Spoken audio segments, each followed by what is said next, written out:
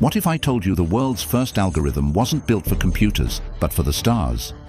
In the 11th century Song dynasty, China faced a serious problem. Farming, taxation and royal power all depended on precise calendars. But older systems couldn't predict eclipses or match the shifting heavens.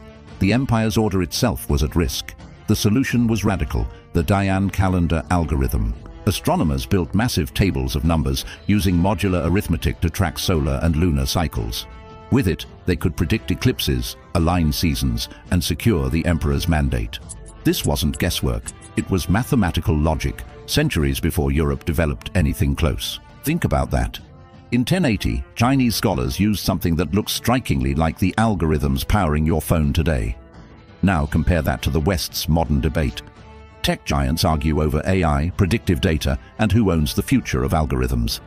But a thousand years ago, China had already proven one thing.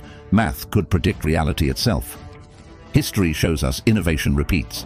The only question is, are we listening? Subscribe for more hidden history they never teach you.